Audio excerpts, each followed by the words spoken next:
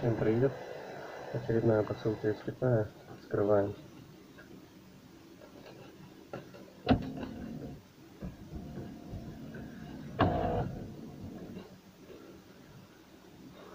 Неужели? Вот такой вот аппарат для того, чтобы откачивать вино с осадка. Значит, здесь у нас сеточка ну, для предотвращения крупной какой-то там жижи. Надо будет мыть ее постоянно. Ну и сифон нажимаем, там скорее всего есть клапан.